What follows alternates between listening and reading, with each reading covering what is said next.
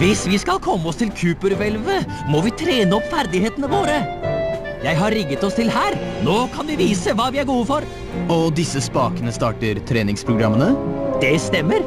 Hver av dem setter i gang et kurs i realt tjuvraderi. Jeg stikker opp i kontrollrommet, så setter vi i gang. Kjør på, jeg er klar.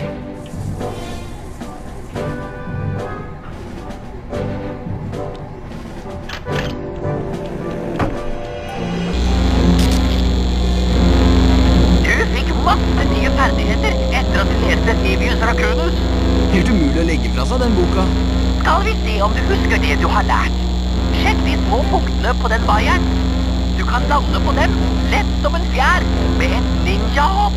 Det er enkelt. Bare hopp og trykk på sirkelknappen. Sånn, ja! Prøv å komme deg til den andre plattformen.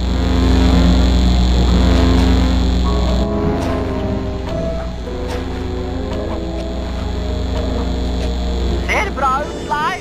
Du vet jeg liker å jobbe høyt oppe.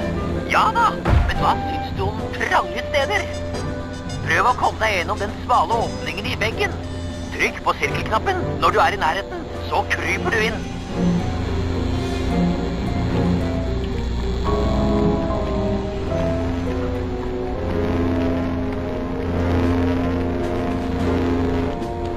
Bra jobba, Slime! Du gjør ære på Cooper-navnet.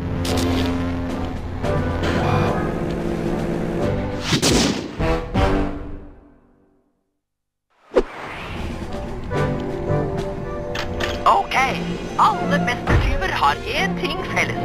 Masse penger? Nei, de går seg aldri bort. Bruk høyre analoge spak til å se deg rundt om i rommet. Prøv å finne Cooper-merket jeg projiserer.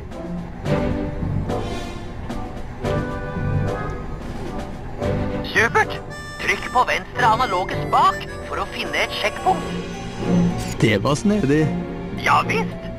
Disse holografiske markørene er et uvurderlig hjelpemiddel for å finne frem i felten.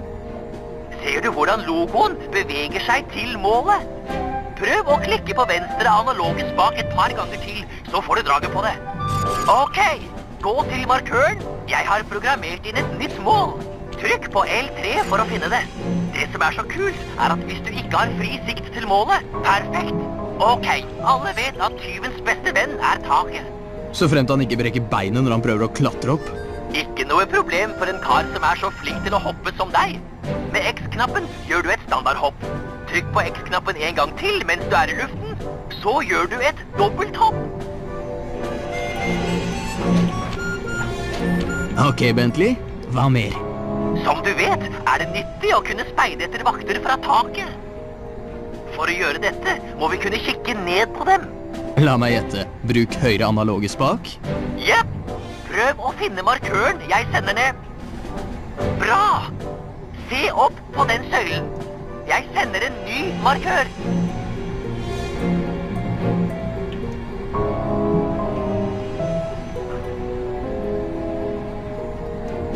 Supert! Nå skal du bruke det du har lært, og komme deg til de gjenværende markørene. Ikke være så vrient hvis du bruker venstre analoge spak og kikker deg rundt.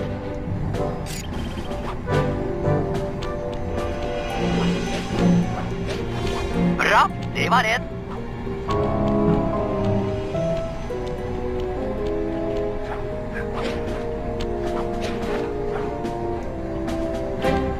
Bra jobba, Sly. Du greide det.